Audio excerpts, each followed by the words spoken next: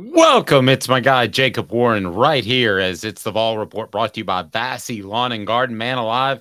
It's worth the drive, and our friends at Craven Wings tell you more about them as well as spring practice has concluded. And the key is Jacob A looks looks healthy. That's the key to get through spring camp healthy. Sure. But he's also brought the mustache back for the tight ends, which I love. Of course. and brought it back, baby. Brought yeah. it back.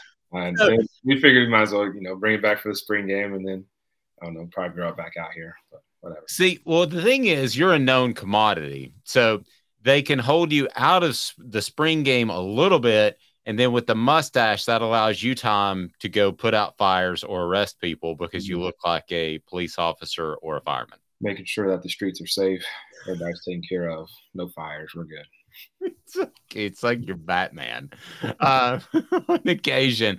Hey, uh, so uh, we tell me about the spring game. Uh, pretty limited, but that shouldn't be a surprise. Josh Heupel is is nice and affable, but he is the most secretive coach in the SEC. That's my new theory. Yeah, and he should be right. Like that's that's part of it. Is you don't want people you know, knowing anything about what's going on. We that that's one of our rules is like, hey man, like if something happens in this building, like it stays in this building. If we tell you something, it's staying here. Like they're not letting anything out. At least they're trying to not let anything out.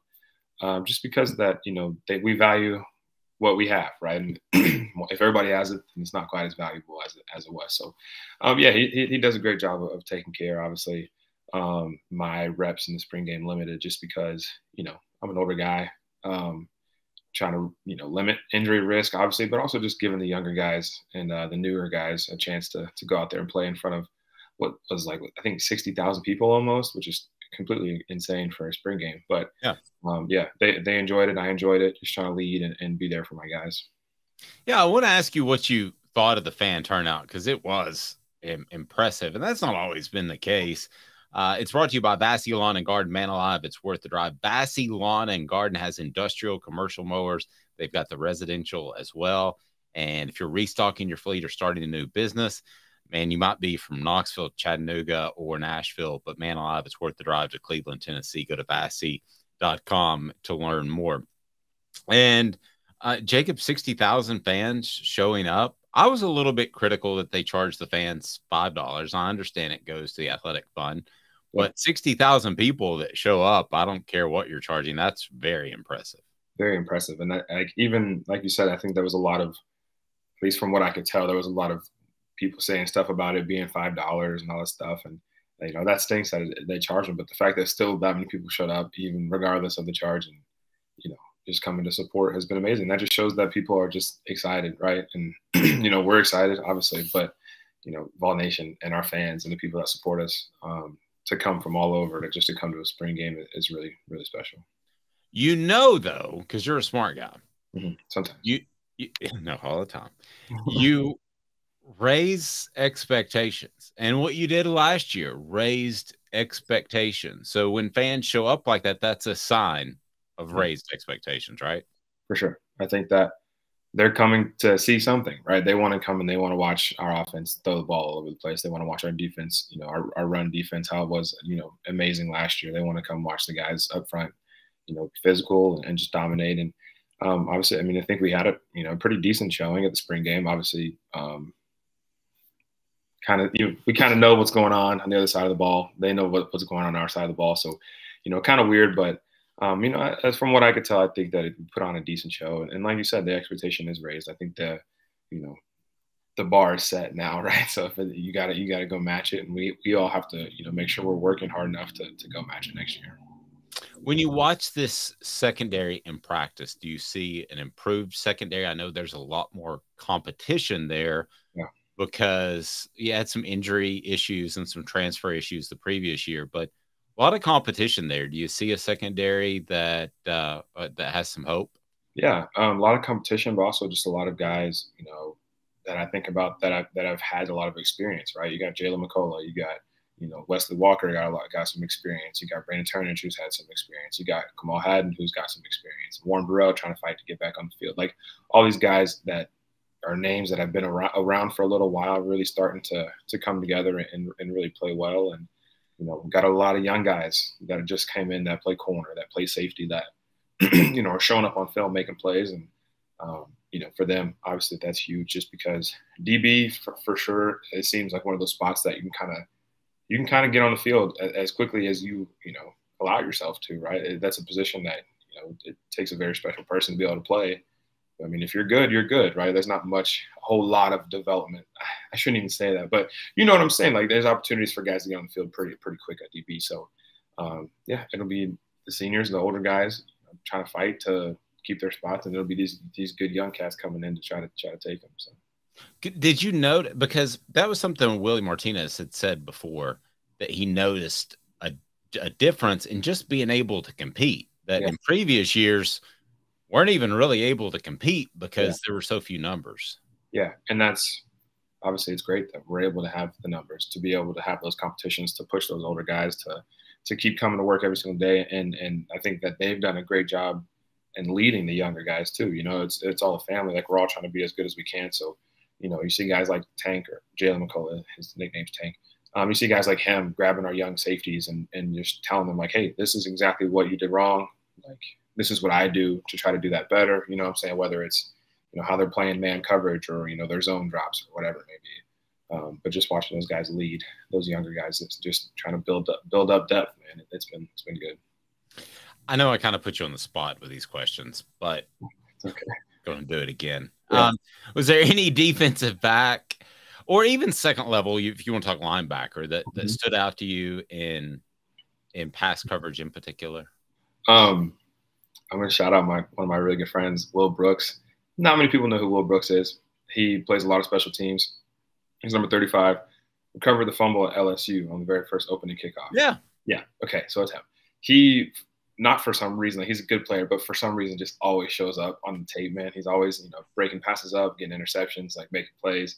Um, so sleeper for sure. But I know that's not really what you're looking for. But the whole man, the whole group, um, Arion Carter, Aaron Carter, um, new linebacker, has shown a lot of like just really athletic plays. Just him dropping back into zones and being able to you know pick off balls or, or deflect balls that you know most linebackers I feel like probably would not be able to to make plays on. Um, so it's I think he kind of stands out to me as somebody that's you know shown up in the right way. You know the last couple of weeks. Well, it's it's funny you mentioned him because that's where I was going as as well. Um, if, if you look at this linebacker crew with with Arion, yeah, and then you have Aaron Beasley, and then you have possibly a, a Keenan Pili. Let's say that he he he lives up to expectations the fans have of him, and your linebacker crew could be really really good. Yeah, really solid. And we got two younger guys too. Kalib Perry has played uh, you know a little bit of ball in, in, in those minutes with in the Akron games and stuff like that. Um, and he he's man like super good, really fast, really athletic. Um, you know, Ben Bolton, who's one of the younger guys too, like super athletic. These are guys that I, I, don't feel like a lot of people really know about, but are playing their butts off right now and are truly showing that you know they can be they can be help, right? Like they can be players on Saturdays. So um, yeah, that room continues to get deeper and continues to grow as well. Yeah, I I think that it has a chance to be a big play group as well. Um, which which I'm interested uh, to see. As as far as something that Joey Halzle said, uh, your offensive coordinator now is his 1st year in that position. He said last week that it kind of pricked my ears up a little bit because I, I think of you that there's a possibility that this this group uh, this base offense could be four wide receivers. What, what what did you think of that when when you heard the possibility that that could be the case? Um, I mean, I hadn't, I guess, hadn't heard it till you said it, but um, yeah, I think that the ability to, man, go for wide, like we'll go, we'll play in ten personnel, and be able to run and, and do that, right, and then it can literally be the next series where we get big and we go 12 personnel. Now we have the depth to be able to do so. And so it's like we go big, go 12 personnel, keep them on their toes. We're in and out of formations. Like there's just so many different things that we can do. But yeah, man, like going for wide, like trust me, I'm not selfish. I'm not. My feelings will never get hurt about them putting, you know, Squirrel White on the field, right? Like that kid is so good, right? He's so fast, and like, if you know, I mean, it's just I understand that you know sometimes you just kind of do what you got to do. So, um, yeah, obviously the ability to be able to do that is all based on on depth and and numbers and you know who we can trust to play and who we can't. So um, excited to see, I guess, where it goes. Yeah, and and you're always allowed to tell me if I ask a stupid question. Okay.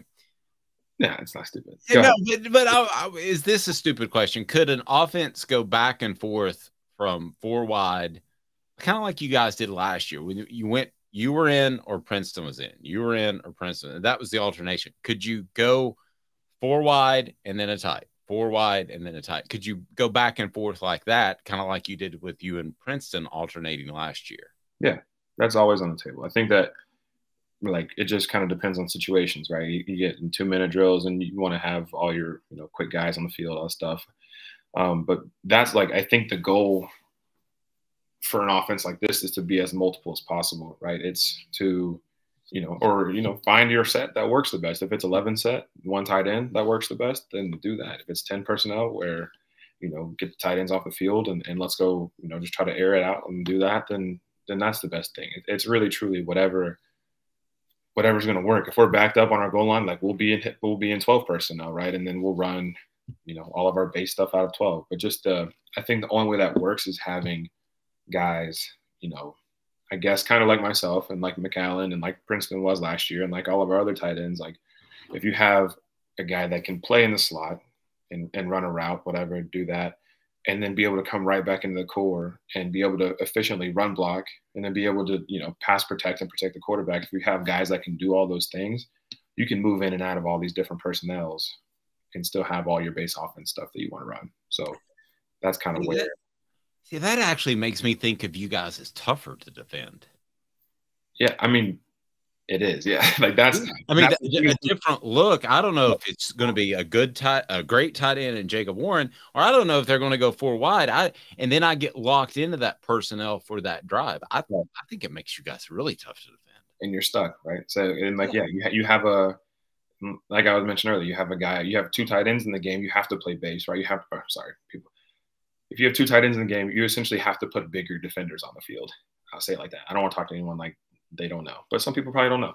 Um, if I don't know, I don't know half the time, Jacob. The bigger guys on the field, right? You have two tight ends at wide receiver, now they have to essentially have two bigger men, two safety bodies to be able to defend those guys because they have to be able to run fits and different things like that. The smaller bodies on the field, say you go 10 personnel, there's more wide receivers. Now they can take a linebacker body off the field and put in another like nickel safety, smaller body to cover. But if you were to stay and those smaller personnels on defense. It's kind of like basketball. If you got a seven footer on the field on the court, you're going to have to have somebody that's almost close to seven foot to be able to guard him, right? But the yes. moment you know, but then you see some basketball rotations where they have a you know a small lineup and and it's all quicker guys and stuff. But your disadvantage is the fact that you have nobody to guard the seven footer. It makes sense, right? So. Yeah. That's kind of kind of how it works in, in, a, in a somewhat similar way, in a simple way. Um, we put big people on the field you have to put big people on the field. If you keep your small people on the field, when we have big people on the field, probably bad things are going to happen to the small people. And that's just like that's just kind of how how it works. So now I I found it really interesting, and I, I don't think it would affect your playing time at all. Because here's the other thing: if if they wanted to go four wide, I mean, mm-hmm. we're, we're really talking about a lot of positionalist football nowadays. If they wanted to go four wide, you I would imagine you could also play a receiver position too if you needed to, even though technically that's not four wide. Right. And that that's where I when you said four wide, I thought you meant 10 personnel. And I think you kind of did. But no mm-hmm. tight ends on the field is four wide to me. If we're going four wide or just playing in open sets, so essentially an open set, no tight end in the backfield. Right. That's what mm-hmm. we call open set. You can go open set with a tight end and that could be four wide. I think is kind of what you're getting at too. Be, the ability to play on the perimeter, um, and in the box. That's kind of what it boils down to. I think. Gotcha. Now, uh, uh, before I get to your thoughts on that, that battle that was ongoing throughout the spring mm-hmm. at, at the slot position, let me remind everybody that uh, they need to check out uh, Craven Wings. They go to cravenwings.com and they've got the special sauce for you, Jacob, that you came up with. It's pretty awesome. Yeah, sauce 87, man. Go get it. Had it yesterday. It was amazing. Um, but yeah, little promo. Sauce 87. Um, it's a spicy lemon pepper. So those are my two favorite flavors is like a buffalo sauce and a lemon pepper. And it's just a combination of, of both of them. They did a really good job of, of coming up with something. And um, I really love it. I get a lot of people that, you know, will come to me and say, Hey man, I had your sauce. Like, and I was like, do you like it? And they're like, yeah, I loved it. So um, obviously shout out to people like Craven Wings. Love those guys. Pretty strong. We do as well. Now, I think a lot of people were excited about the uh, Dont'e Thornton Squirrel mm-hmm. White uh, competition at the at the slot receiver position. And from the outside looking in, it looks like Squirrel did did everything he needed to do to kind of hold him off. But Thornton is making the adaptation to Tennessee when he's moving over. What are your thoughts on that uh, that that battle as it waged throughout spring camp? Man, wide receiver is such a. We just got done talking about being able to get in and out of different things, but wide receiver is such a position where um, like, if it doesn't really matter who, it's kind of similar to how it was last year. It doesn't matter who goes out there first with the tight ends, me or Princeton. Like, no, it doesn't really matter because I'm gonna. If I don't start, I'll be in the game the next series. Or if I don't start, then you know when when he's ready to come out, then I'll just go in. Like as long as you have guys that are truly committed to just winning, right, and just being the best that we can, I think that you know a competition like that is not necessarily a heated competition. It's just them going and just trying to be as good as possible. Obviously, you get very different things with those two. Um, Squirrel, obviously, extremely fast, and, and Dont'e is extremely fast as well. You know, Dont'e's a bigger guy, right? Now you have a bigger body running across the middle, or a bigger body to, you know, using the red zone or different things like that. So definitely the fact that they have different, you know, skill sets and different bodies and different abilities you know, just gives us more options and allows us to, to do more things with our slot position, which is what you want. Let me let me play devil's advocate for a second because yeah. I don't believe this, but I'm going to throw something at you. Okay. Right. At this time last year, Cedric Tillman was going to be what Tennessee's uh, passing game was built around. He was going to be the receiver. As it turns out, he suffered injury. Uh, and and Jalin Hyatt comes in and he wins the Fred Biletnikoff Award. And there's absolutely no way that Tennessee's receivers can be as good in 2023 as 2022. Look at you smile because that that was a phenomenal group. There is no way Jacob Warren that they can be as they can be as good in 2023. Why am I wrong? That's what they're gonna say, man. They'll say it just because just because it hasn't been done yet. Like really it just hasn't opportunity is all that matters, right? Jalin Hyatt got his opportunity last year. No one thought that that was going to happen. No one, you know, I mean, like even, like Jalin probably thought. Jalin knew that he was able. We all knew that Jalin was able, but like you just don't know until it happens. And the fact that now everyone is just trying to chase that, right? Like no one's trying to be Jalin Hyatt. Jalin Hyatt is himself. We're all our own people, but at the same time, it's all right. Like he's shown that you can do it right? Squirrel White, you can go catch five touchdowns against Alabama. You know what I'm saying? And like have 200 some yards on six catches. Like it can be done. And the fact that, you know, Jalin did it is amazing, right? No, like, I don't know. It, you know what I'm saying? I think it's just a matter of, of, you know, just trusting the process and those guys getting ready for their moment. Because the moment that our opportunity comes, think about Kaleb, uh, Kaleb Webb, like made some huge catches in the spring game, and showed that he can really be, you know what I mean, that guy kind of like like said was, right? And and Ramel Keyton last year stepping up and making some massive catches. Like it's all just a matter of, of preparation and work and when the opportunity comes, being able to seize it. Um, if we have another Biletnikoff winner, then I don't know. That would be sick because we'll we'll definitely have a Heisman winner in the in the backfield. So we'll just have to see what happens. Uh, great stuff. He is Jacob Warren.